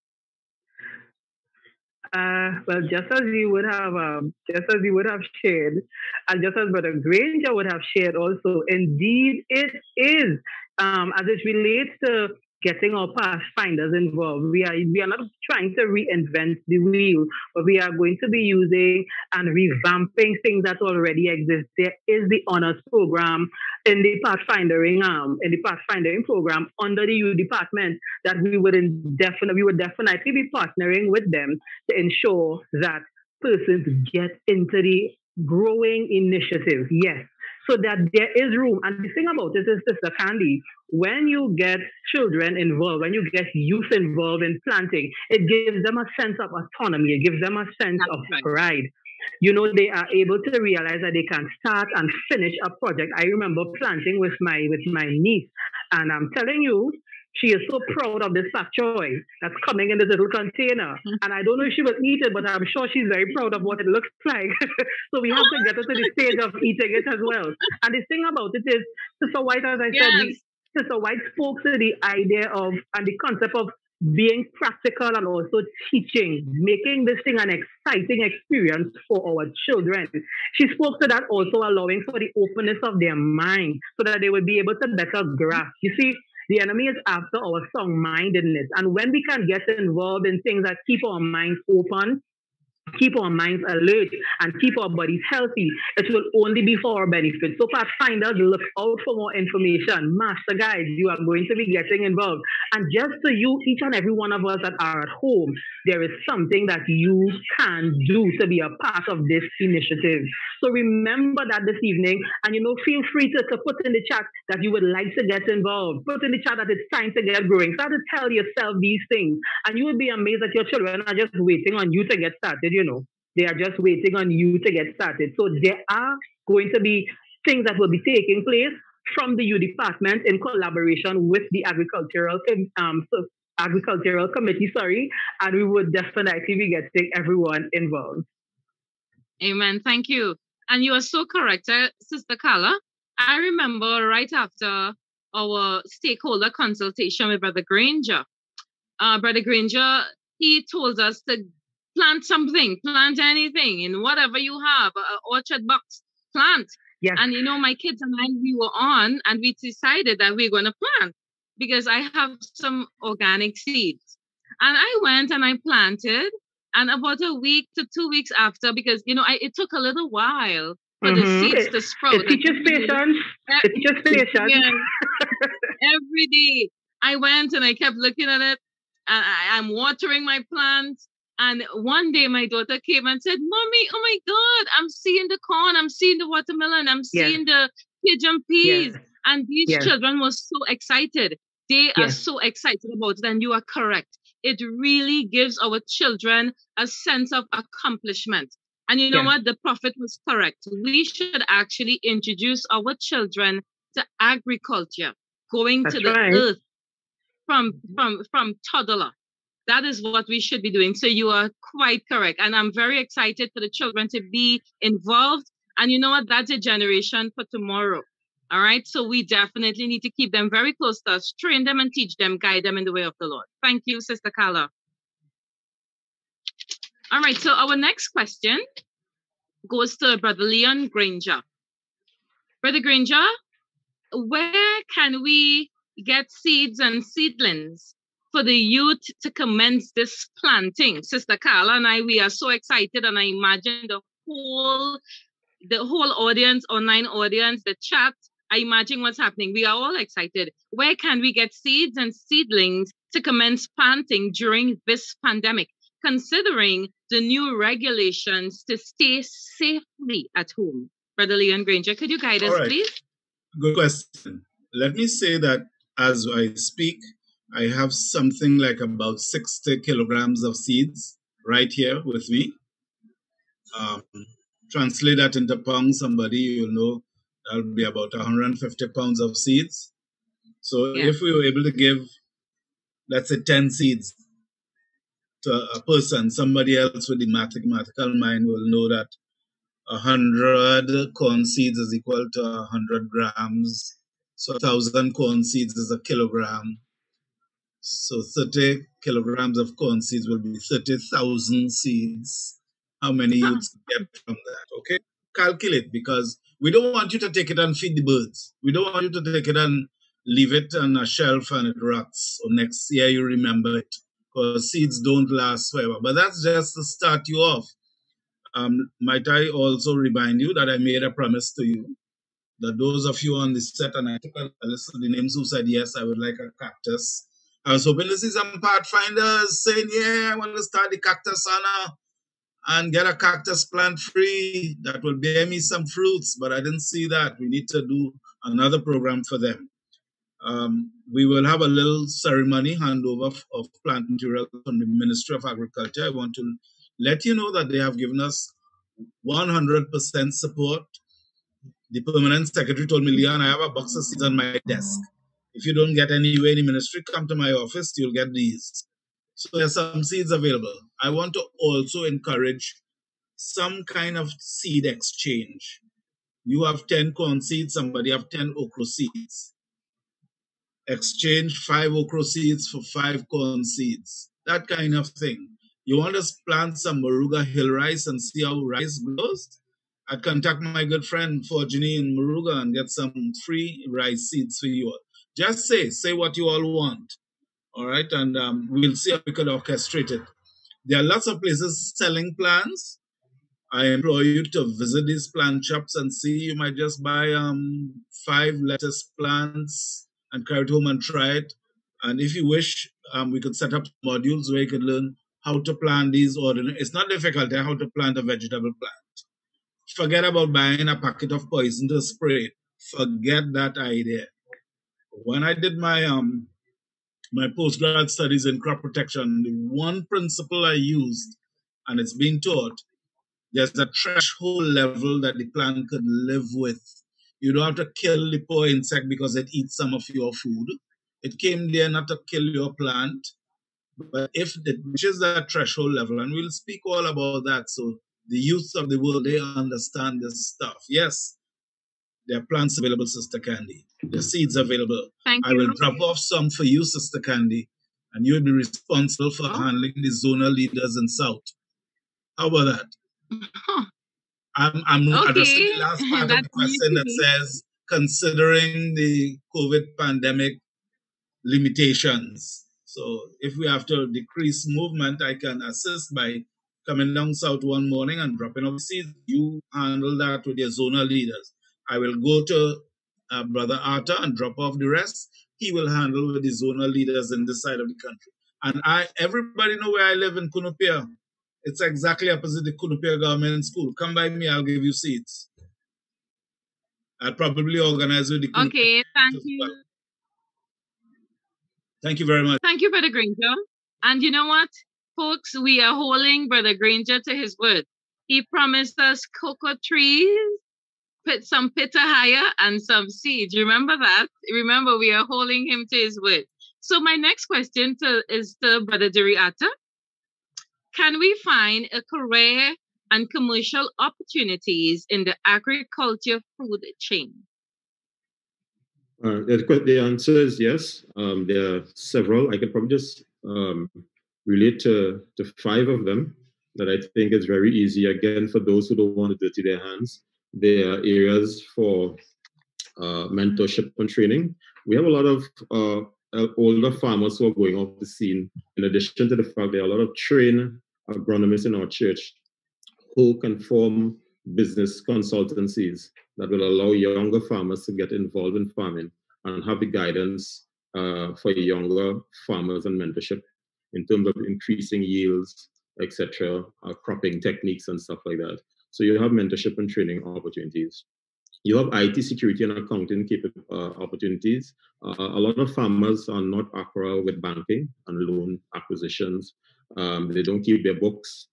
Um, some very critical things, and then they may go to uh, the bank, they may go to the ADB for a loan, and it's very difficult because they have to show their numbers. So there are opportunities there for taxation, IT, even security, um, and IT technology, as Brother Granger mentioned, drone technology.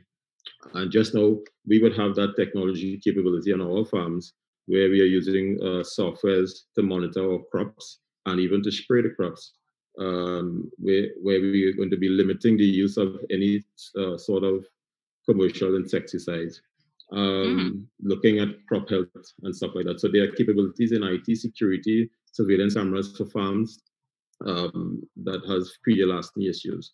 We have uh, post-harvest opportunities. You have opportunities for pre-packaging for, for uh, farm to fork capabilities.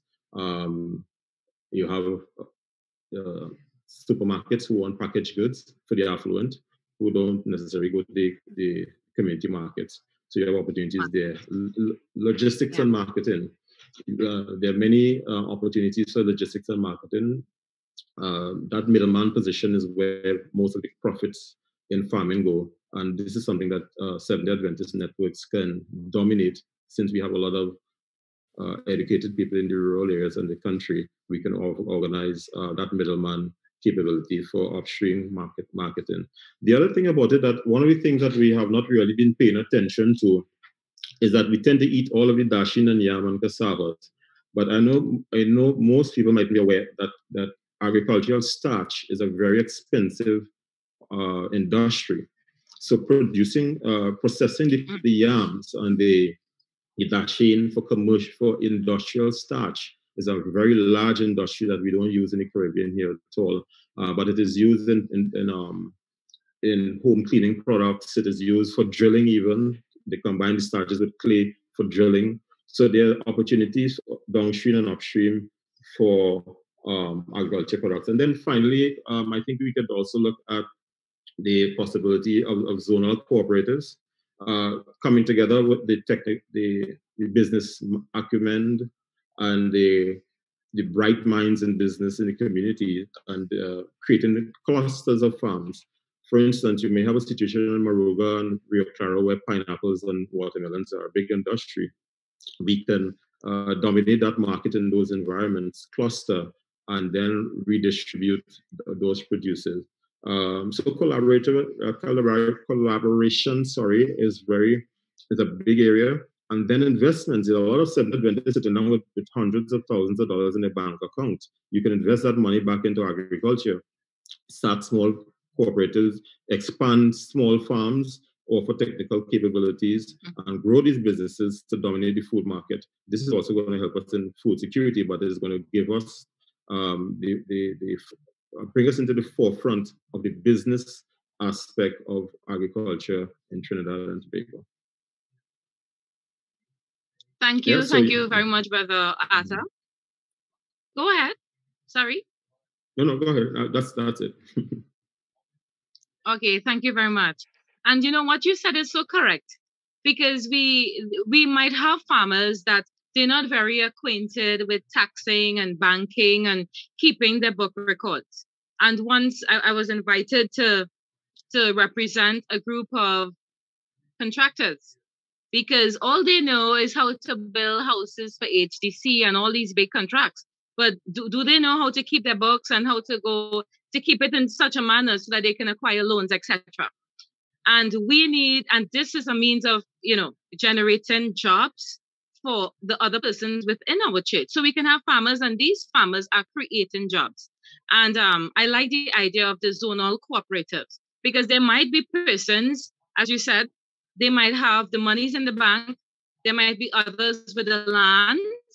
There might be those with the skill, some with the information. And if we come together and form these cooperatives as a people with one mind, we would be surprised how far we can go and what we can do. So I thank you very much for your very insightful answer, Brother Atta. And last but definitely not least, the last question, Sister Carla. Will there be will there be opportunities eventually to collaborate with the SDAs in business ventures? Do you think that our Adventists can come together for these business ventures? Do you think it's possible, Carla? We, we can work this question together. most definitely, Sister Candy. Most definitely. Yes. There is strength in unity.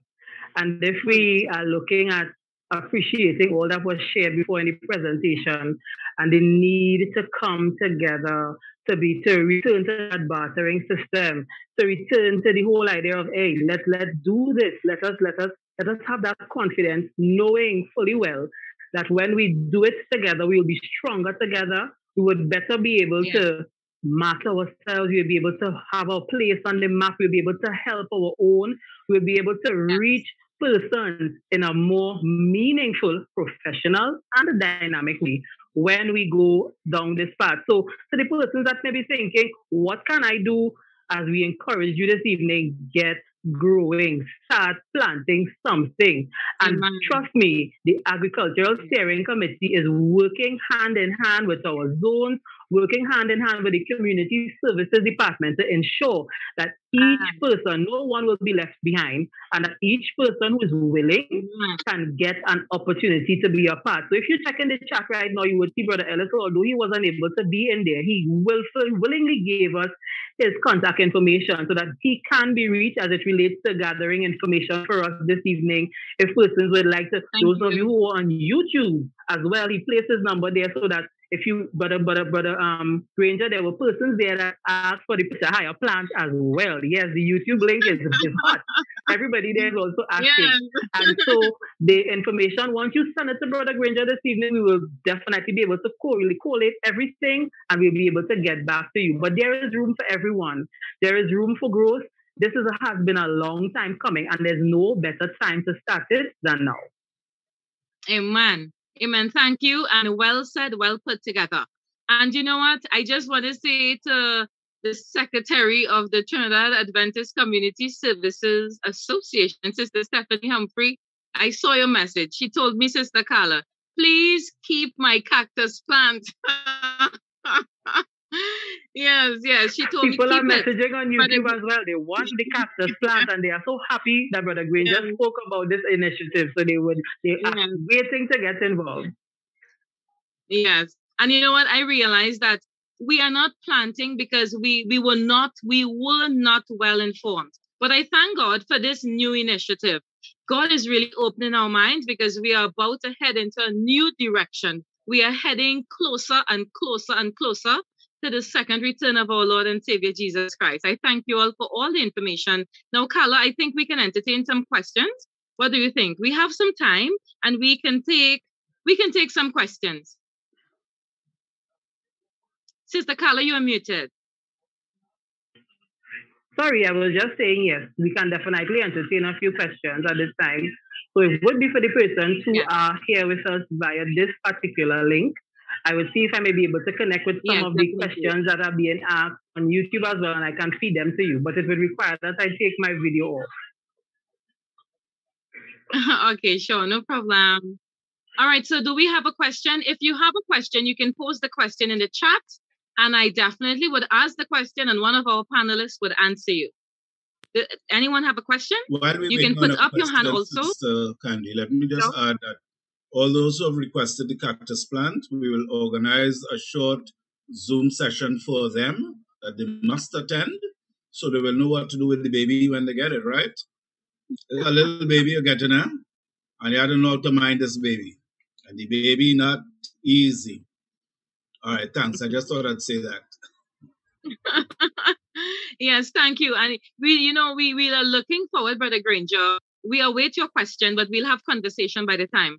Brother Granger, we are uh, awaiting the second consultation, stakeholder consultation. We are awaiting that, where we can actually teach our brothers and sisters how to take care of certain plants, how to prepare the soils, what what soils is best, what what plants best grow with certain soils, different areas. I mean, uh, brothers and sisters, my mind is already opening because I'm on the steering committee and I listen.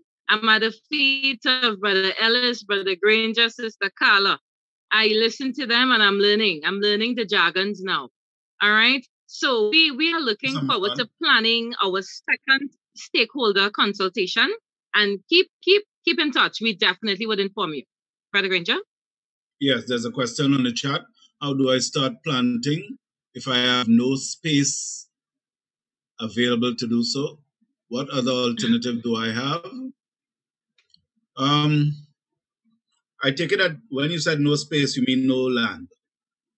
And if that is correct, if that assumption is correct, then you can do some plant pots. You just get a, a plant pot and put a plant in it. That's all you do pretend it's a house plant, put it in your porch. There's something called vertical planting as well. And I'll tell you what, we have to mount a series of training exercises for you all, and we will segment them. There'll be beekeeping, there'll be how to make queens and bees, how to make royal jelly, and the full works. Uh, Brother Ivan Morris is the expert in that. I could vouch for him. He is really good. And there are other expertise we have. I met one just now whom I know already, uh, Brother Charles from Tobago. I worked with him, training him in the area of cocoa, but he's on with Mark, Mark Buckmeyer, and I'd like to meet with Buckmeyer and, and see how he can do some things for us as well. So there's something called vertical planting, where on one spot at the diameter of about 12 inches, you could have 15 plants growing in that Wow. one spot. So that's something we will explore, Sister Charles. Yes. Okay, thank you. Thank you. Do we have another question? We have time for one or two more questions. All right. All right. So, Brother Granger, it seems that we have no more question. Right now, we can take our closing remarks from our dear director, Pastor Nigel Walcott. Pastor, you can come in and give us our closing remarks. Then I'll do the vote of thanks.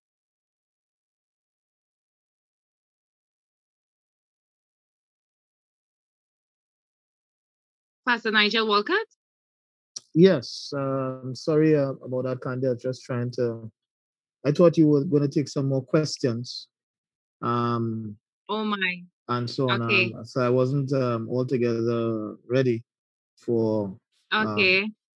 for this this moment. But uh, since you're the host and you asked me to come on, I have to obey. Um, it really is good to. Uh, You look ready, and you are always ready. Th- Thank you. Um, you know, the, the program this evening was an informative one.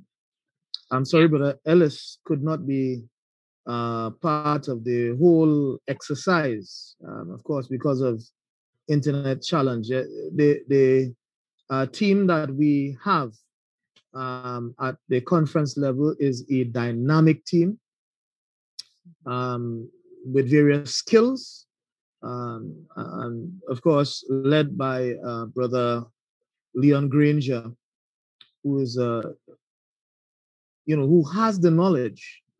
Almost, I mean, I listened to Brother Granger talk, and uh, he has the the um, the nobility of all of agriculture in almost all its forms, if not all its forms. And uh, you know, I really am happy uh, to have this gentleman as part of the team, and you know, waiting with excitement um, to see our program really uh, take off. The pandemic has caused a lot of eyes to be opened. And if Seventh day Adventists don't come to the place where we appreciate that we need to uh, come together Mhm. uh, to feed ourselves, yeah. To grow what we eat, Mhm. um, then really uh, this exercise would be will be a um, an exercise in futility. What we want to have happen, and it has always been my dream. Let me tell you something, Sister Candy. I've been to the United States. I normally go every year.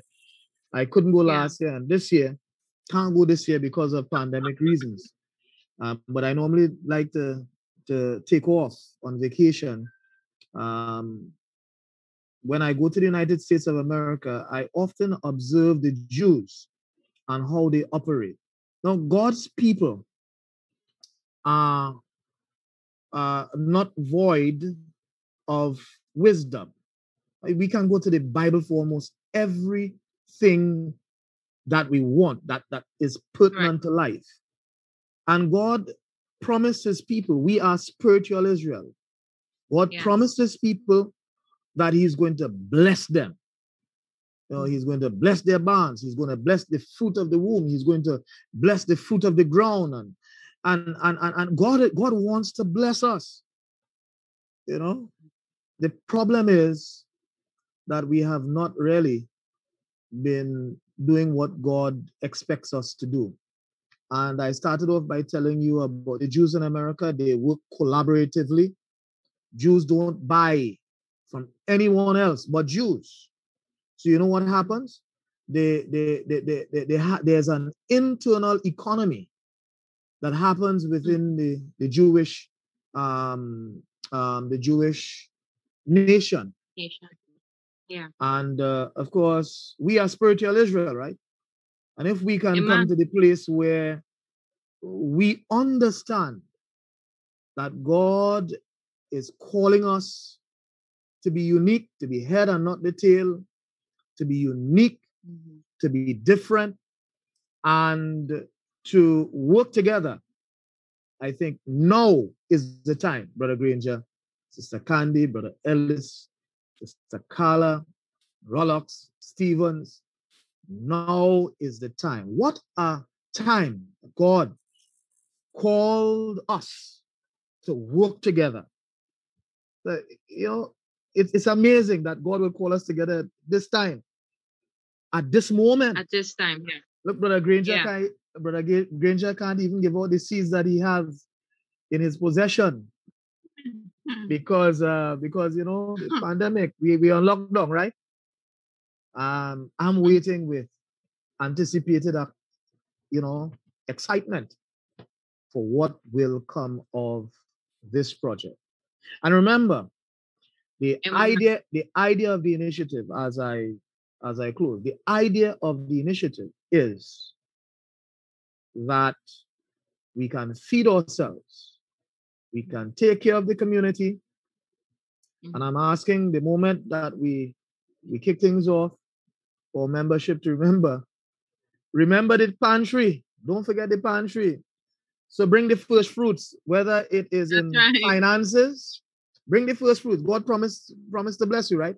Bring the finances whether if you sell uh what uh the first crop all that money belongs to god. Bring it back to the church. Or you bring the first fruit itself to share you know um and uh, invest in the pantry and i promise you brethren we are going to finish the work. That's the aim in a blaze of glory god bless you and thank you again sister Amen. uh Braffett for for the invitation Thank you very much, Pastor. You know, I'm I'm now seeing that we have a couple more questions. So we will we take the did. We questions. got two more. yes, we will take the questions, Sister Carla, and then I'll do the sure. group. Sure. Let me tell you, the question there is coming from the question there is coming from Sister Gabrielle Andrews Durrell. She said, I'm an executive an extension officer at MALF. Recently, the Minister of Agri promoted composting, but the jury spoke about waste products. Can Brother Leon talk a quick bit about composting? And also a question from Karine Stewart. She's saying there should be an Adventist marketplace where we can get all our needs and support our committees. So what's happening where that is concerned? Hmm. All right, I'll, I'll shoot with the first one on composting. Sister Gabrielle Terrell, good evening to Yes, Sister Gabrielle Andrews Durrell, right? Um, Good evening, Candy. Hi, hi. Nice to meet you. I was fortunate to have been sent to a composting course held by a lead scientist at the University of China. And it was a special type of composting called vermiculture. They, they had launched after that course something in the United States for the Olympics, where there was what is called a vermi bin. And let me just back up and tell you what is vermiculture. Vermiculture is the culture of earthworms. Earthworms are known to convert food waste in three days. You give them an apple today, Mm.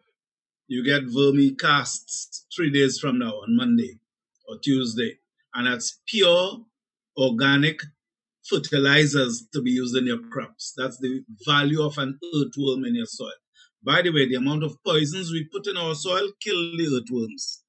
So you lose some of the beneficial organisms, eh, the microorganisms plus the earthworms.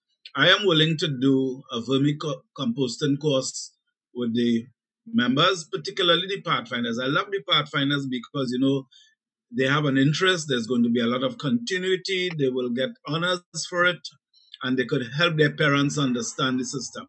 What is a vermi bin? Just like you have a bin under your, your kitchen sink, there's a special bin that could be designed. Somebody could get employed to make them and sell them. And you put a few, a handful of worms in there. And every time you put mango skins and watermelon skins and bananas, they convert it to manure for you. They live off of that. If you want them to make babies, give them more mangoes. And they are, so- if you want them to just grow, you give them veggies. And there's some things you never feed them onions, garlic, seasonings, and pepper that they don't like. They like to live in the dark, so under the kitchen sink, that's perfect place for them. And you will then have ready-made organic fertilizers for for your garden, for your and it doesn't smell by the way, it's totally odorless. They don't make noise while they work, they're very silent. Wow. That's enough. But let me take a minute Wow. again. Wow, I know that. Sister Candy, if you yes, I know that. excuse me. Um, I know what you said about the earthworm is true. Yes. Yes. Let me just say thanks. First, thanks to all of you for having me speak to you. I enjoyed it probably more than you did, but I hope you enjoyed it more than I did. I want to say thanks to the people who contributed the seeds. Southern Chemicals willingly give me the seeds. I didn't ask. I went to buy. Um, Carson Chemicals contributed some seeds, and the Ministry of Agriculture, Land and Fisheries contributed some seeds and plants, which are to be collected on the 24th of June. Okay? Um, hopefully, we will get one or two participants from the executive, Sister Candy, to take a picture with the PS so we can put it up on our Facebook page as soon as it's ready to be populated. Thanks again. And just as Thank you just as very was much. stated, just as was stated, as it relates to what's happening next, I'm sure you all are excited to know what's happening. I'm sure that you are excited to know. To answer the question that was placed there, you remember Pastor Walcott spoke as it relates to the, the pantry initiative. That may very well become our marketplace. That may very well become our hub where we can afford to go and barter and share and sell and do all the different things that's necessary, but it gives us an opportunity to support our own. And that is what we are about. Finally, we are in a place where we are ready, as someone said on YouTube. Finally, we are ready to support our own. Finally, we are ready to make it happen. And we need each and every one of you to do exactly that. I saw Brother Granger place his contact information in the chat. Is not just there for show. Make sure and take his number. Make sure and contact him. Brother Ellis's number is also there. And we look forward to working along with our zonal spaces, our zonal teams, our zonal areas that would give us the opportunity to truly connect with the people in this time. We are trying to be creative, but we will get it done. Sister Walcott asked if the worms would crawl out of the Amen. bucket. Sister Carla, The worms will not crawl out from the bucket.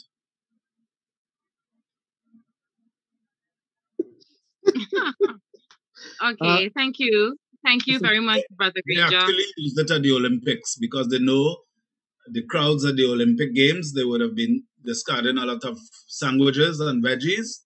So they deliberately placed, that was in China, all these bins in the Olympic Stadium so people could put in their food and it's converted to artificial uh, manure, instant organic.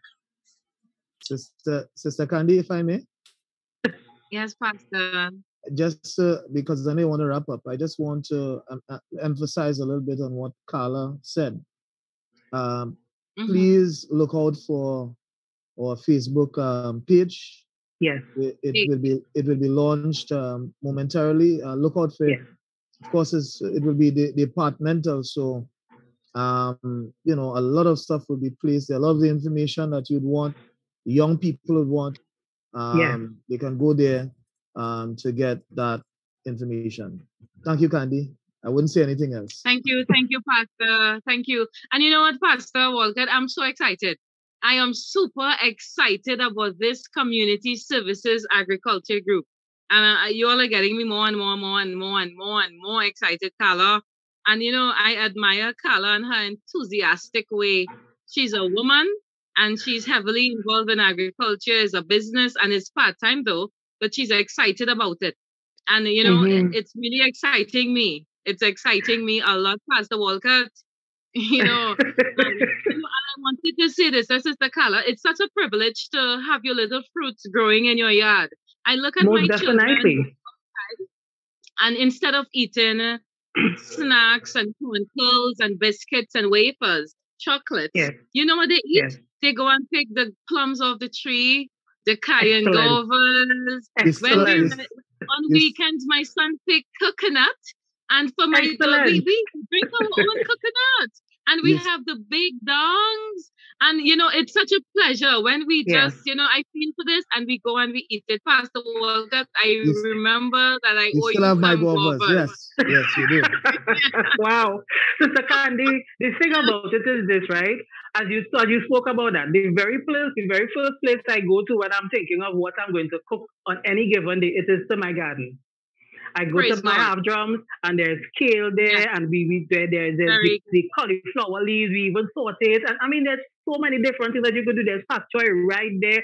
I love flowers as well, but as my husband told me, you can't eat Hmm. flowers color. We have to we have to plant food. So it's important Yeah. to have these things there, you know. And we have something coming up on the 4th of July. It's America's independence, but it will be the liberation for the Agricultural Committee. We have Yeah. a program. So, Sandy, tell us about it. Right. So our proposed date for our next consultation for all of you all that is connected and all of your other loved ones is the 4th of July. It's the proposed date. We are praying, but most likely that's the date we'll be using for our next stakeholder consultation. But stay tuned. We will send all our flyers out. We'll communicate with you. Our page definitely would definitely would be launched before that. So all the information you will get. We are looking forward to hearing from you. Please, and you know what? If you have no means of communicating to Sister Carla and I, because we have the sore parts, we are the ladies in the group. so if you ask us for the plants, you surely would get the plants, right? I saw Princess And sent a number. For, don't worry at all. Sister Watkins, Bo- Bo- Bon, and I would ensure that you all get the plants. But remember, you can go to the And community as well, right? That's right, and Sister Rollocks. We have three ladies on our groups.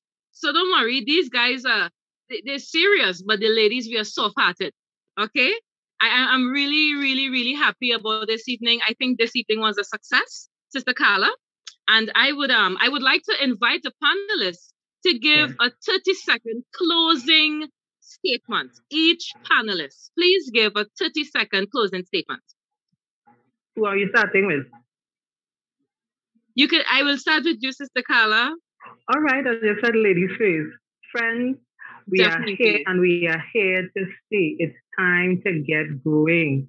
This initiative needs you in order for it to be successful. So, will you partner with us and let's get planting? Wow. Amen. Next, I will have Brother Diri Atta, followed by Brother Leon Granger. Hi again, everyone. Uh, I just want to use this time to endorse the Pantry Project. I think it's a very great initiative. And uh, as we roll it out from the department, I think we would be grateful for you all to get involved and make this a success. It can only be successful with you. Amen. I Thank just- you. Sorry. Thank you. Brother Atta.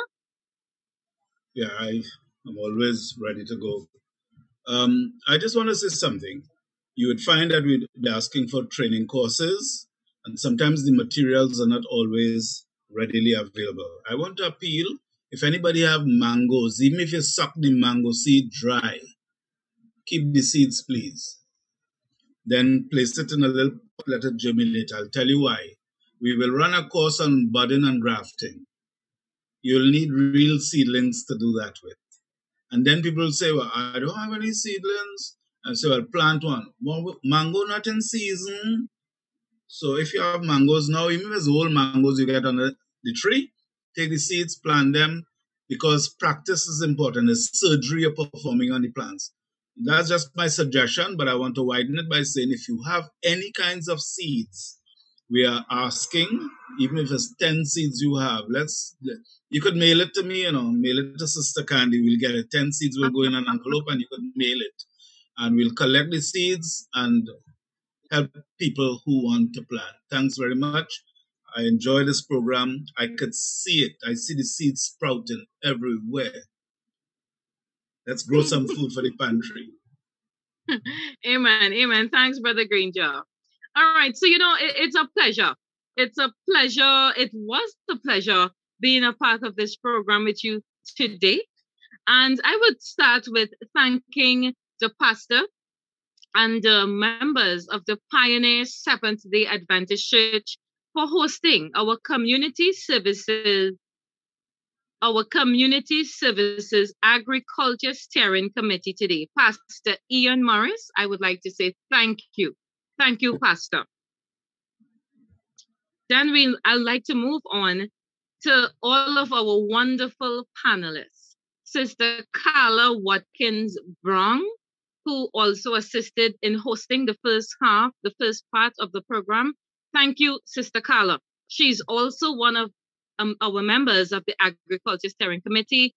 Brother Samuel Ellis, I thank you. You were not able to get in because of technical difficulties, but we thank you. He's a very active member of our Agriculture Steering Committee.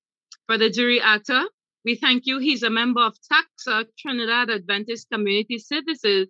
He also did our beautiful flyer. He's a technical guy. Brother Atta, thank you very much for your time. And also Brother Leon Granger. He's the chairman of the Agriculture Steering Committee, and he was our presenter today. Brother Leon, thank you very much. And thanks for the enlightening information today to all of our panelists. And thank you to our TACSA officers that are present and who are also members of the Agriculture Steering Committee. Brother Keith Stevens, I thank you for the opening prayer. He is the vice president of TACSA. Brother Brian Jones, he is the chairman of the Pantry Committee. The Pantry Committee we keep referring to, Brother Brian Jones. He's very experienced in pantry work. He's the chairman of the Love Until Foundation, and he is a member of our Agriculture Steering Committee. We thank you, Brother Jones, for all of your insight. And Sister Shelly Ann Rollocks, she's a member of the of the Agriculture Committee, and she's also the PRO of Trinidad Adventist Community Services Association. She'll be doing our closing prayer also. I thank you, Sister Shelly Ann Rollocks. Also, thanks to our personal ministries and community services advisory for sharing all the information. They promoted this on their group, and I know there are many persons on. I know that our president of the Personal Ministries Association, Brother Clyde Joseph, is on. Good evening, Brother Joseph, and welcome. I know the secretary is on, Sister Faye Nickham, because she messaged me privately. I know she's on. Good evening, Sister Faye, and welcome. So we work together personal ministries and community services. We work together to finish this work in the blaze of glory for Jesus. And thanks to our audience. Would we have a program if you were not there? I thank all of you for connecting. I thank you for your question. I thank you for being a good audience. You know, you listen, you took notes, you are very interested. All of you, all you are like, you're like very excited about planting, getting the seeds, getting all that was promised to you. I thank you for being here, for participating. And you know what? I'm happy for all of us as God's children, Seventh day Adventists. And you know, we are willing to include all of our neighbors and friends because this, this team is community services. I urge you to let us get this done. Let us get this, let us get growing because what we eat determines our health. And you know, the great Hippocrates said, let your food be your medicine and let your medicine be your food. We will advise, and we got so much great information from our prophet. I pray that God really bless you as we move forward. And we are almost to the end of the Sabbath. I thank you for spending the end of the Sabbath with you and my birthday. This was such an honor, Pastor Walcott to share in this experience on my birthday. is a very special birthday to me too. So I thank you all very much. And right now we would have our closing prayer by Sister Shelly Ann Rollocks. May God bless you all really good.